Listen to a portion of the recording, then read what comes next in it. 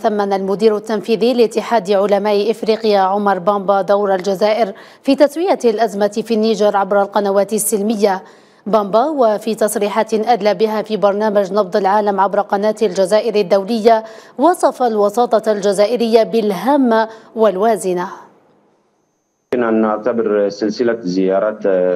رئيس الدبلوماسية الجزائرية وزير الخارجية بهذا حل الوسيط ومناسب لإيجاد حل دبلوماسي حيث أن الوساطه الجزائرية لها قواها خاصة موقف الجزائر من الدول المجاورة وخاصة مع هذه الدول الاقواس منطقة الساحل بصفة عامة. فالجزائر بعدما بادرت بهذه الزيارات قد أنتجت ثمارها ورأينا أن الرئيس الأسبق الموفد الرسمي لمجموعة الاقتصادية لدول غرب أفريقيا رئيس نيجيريا السابق